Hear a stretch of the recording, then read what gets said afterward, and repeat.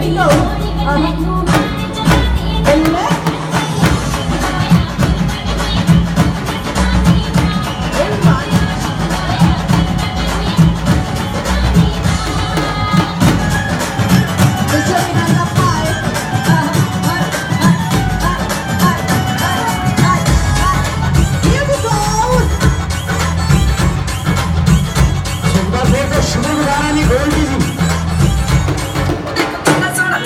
महान सम्राट महोदय कवि धन्यवाद है